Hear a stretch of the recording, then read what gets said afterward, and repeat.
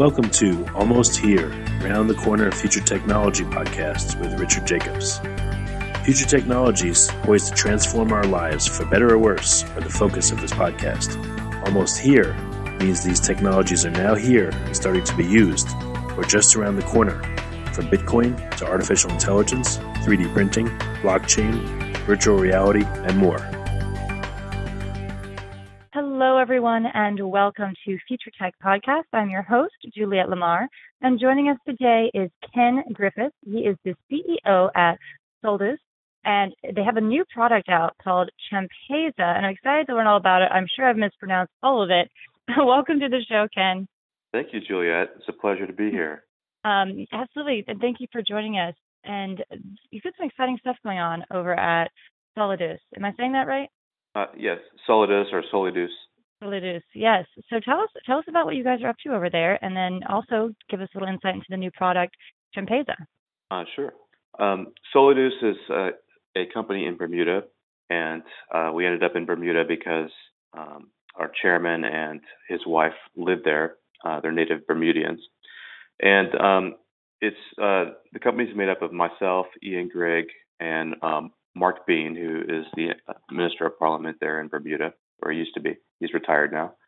And um, what we're building is a product called Chama Pesa, which is an app for savings groups in Africa and the developing world, and also for people in um, the first world.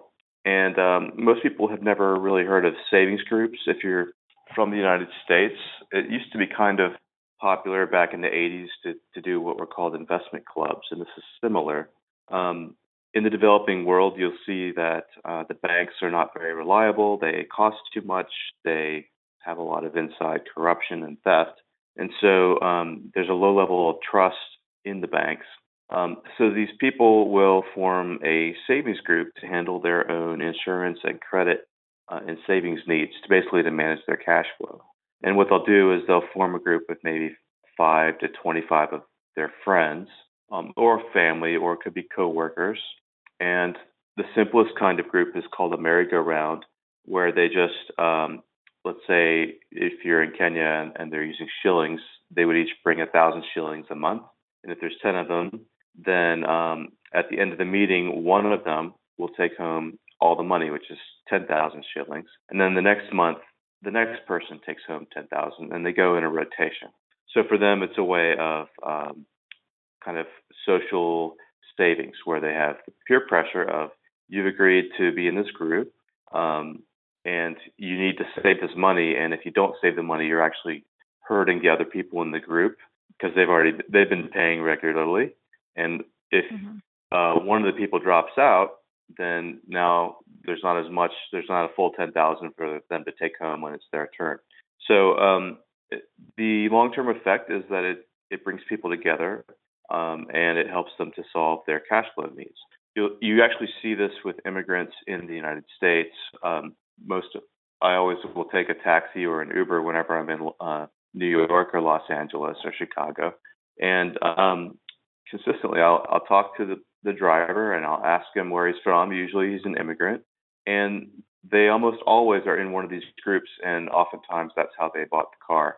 Um, so these families continue to, to do this even in the United States. So we're making an app that essentially digitizes what they're doing, um, gives them good bookkeeping and records, and helps them to uh, keep track of a lot of the social aspects of the group. Absolutely. And and like you said, this is really opening a lot of doors for people, you know, say immigrants come to a different country, um, you know, they don't have the, the credit, they don't have the financial standing to be able to set down roots and actually start contributing to to the new society they live in without some sort of savings. And I, I don't think a lot of people, unless you've been through that process, understand all the the complexities of it and the difficulties involved with it. You're exactly right. In fact, if you go to Chinatown in any um, you know city in California or whatever you know uh, an ethnic suburb, you'll find um, that most of the restaurants, like the Korean restaurant, the Chinese restaurant, uh, the Vietnamese restaurant, that those communities do use the same process of this kind of savings group, and that's how they fund their businesses, and that's how what they've been doing as immigrants for you know it started probably 150 years ago, um, but it's still done today. So we are uh, the technology that we're using is well, it's just software, and we're doing it on the phones because the people in these countries mainly access the internet with a phone, not with a computer.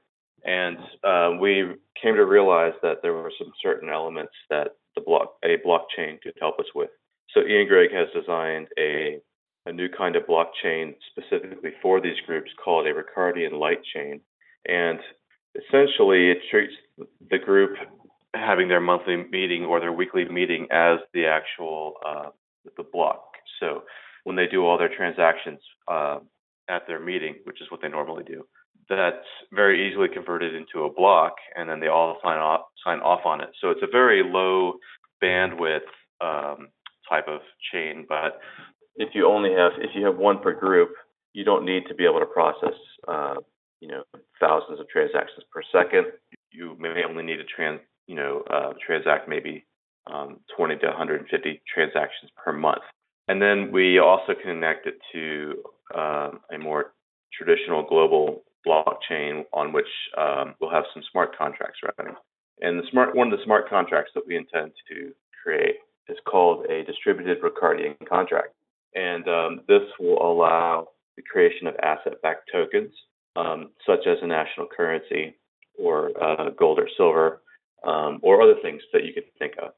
So to give you an example of why we think asset-backed tokens are important and why this is revolutionary, you see a lot of people trying to do asset-backed tokens now. Um, such every six months or so, you'll see a new gold Bitcoin project announced. And then you've got the Tether, the USDT um, called Tether, where people need a digital dollar to trade against uh, the cryptocurrencies. Um, so for our, our, savings clubs, they deal in their local currency, which starting in Kenya, it's Kenya shillings. But whatever country they're in, that's usually the currency that they use. So we need a way to digitize those national currencies. And um, using a distributed Ricardian contract, we essentially create a contract where these savings groups, which uh, many or most of them hold um, a small safe or a lockbox where they hold cash for the group, um, they can actually be the backers of the issuers of a digital shilling, provided that we have a way to keep them honest. Um, obviously, if you have 10,000 groups that are each holding, you know, 100,000 or, or less uh, shillings, um, and they're issuing digital units against the, the, shillings that they're holding, how do you know that they actually have them? And, mm-hmm. and so our answer to that is to require them to put up some collateral in the form of a token. And the token for our project is called Chama Coin, but you could actually do this using any any um, cryptocurrency or token.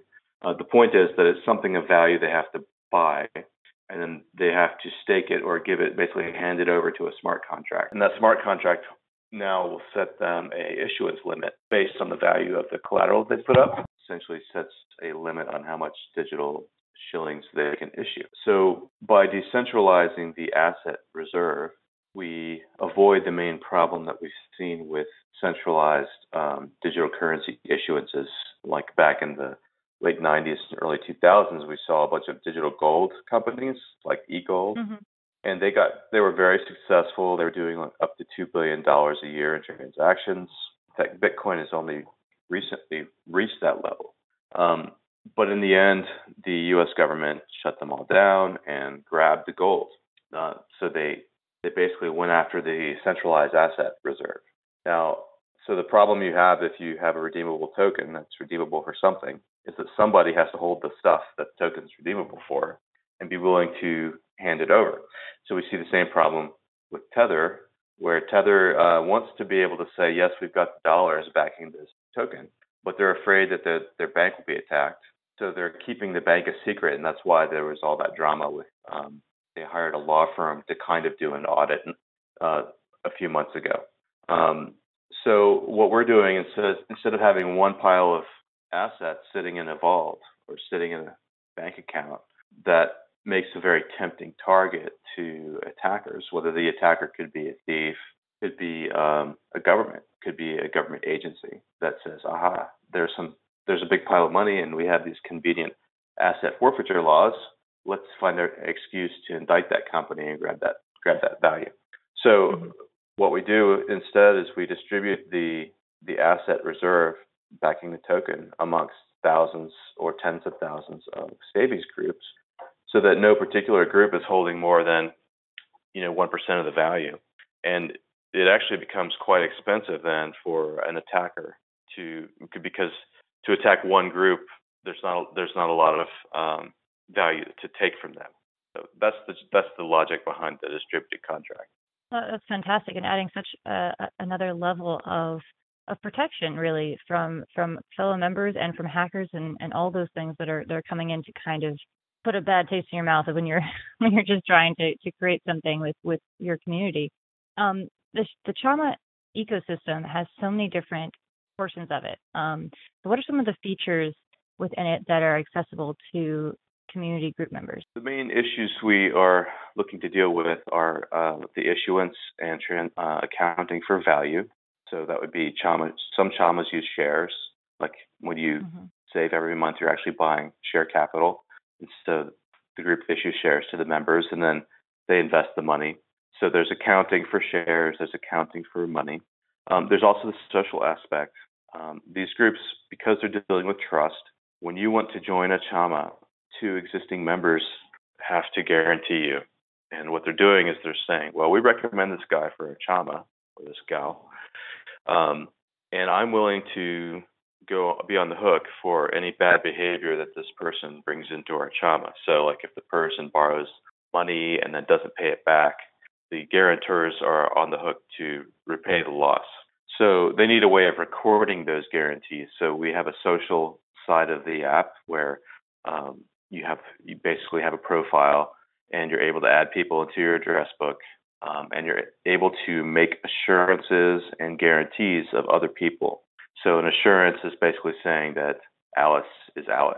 I'm, I'm Bob. I've known Alice for 10 years, and yes, this is a valid copy of her ID or something like that. Um, whereas a guarantee would be me saying, well, I'm Bob, and I'm willing to guarantee Alice for um, a thousand shillings for two years.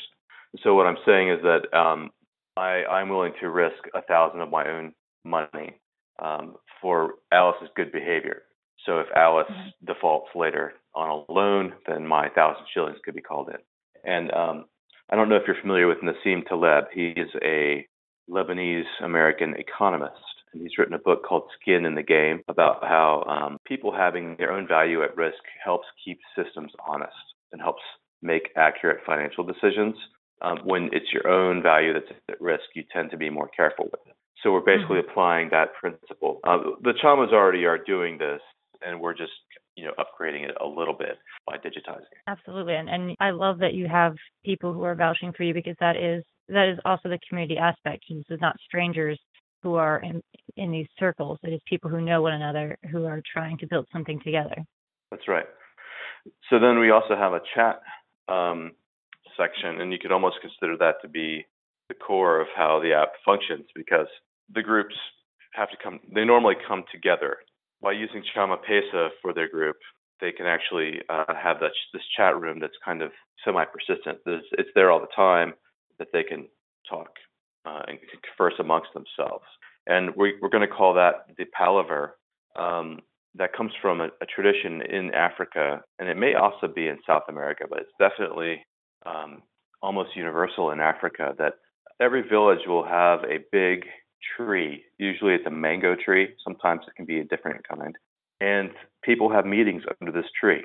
And like when you, whenever something happens that the community needs to talk about, people will gather under this tree, and then their elder will address them, or they might have more like a a, a meeting where different people will talk.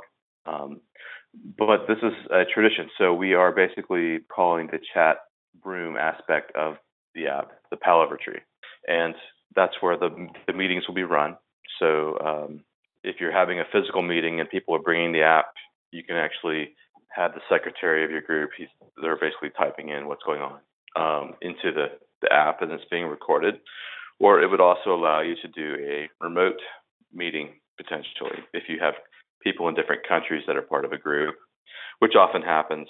Like um, I met some ladies in Kenya who had were in law school, and they when they graduated, they formed a, a chama with um, the other ladies in their graduating class. because they wanted to stay in touch. And so they ended up going to different countries, and yet they still have a phone call once a month to have their Chama meeting. And um, it's apparently somewhat common. Fantastic. Julia, Are- have you have you ever been in a situation where you and friends have worked together to on a, like a financial project to achieve something? have I been in a project? Sorry, repeat the question. Well, I'm just kind of asking if you have ever, if you could see the usefulness of a chama in your own life.